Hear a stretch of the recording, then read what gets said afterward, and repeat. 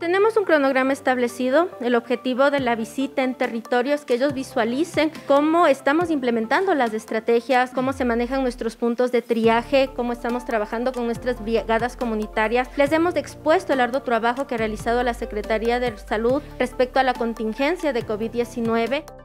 El año pasado estuvimos también trabajando en conjunto con la Secretaría de Salud y hemos podido ver que han hecho un trabajo muy arduo durante estos meses y se puede ver en las estadísticas, como bien mencionó, en los resultados estadísticos de un seguimiento, una detección de casos muy importante.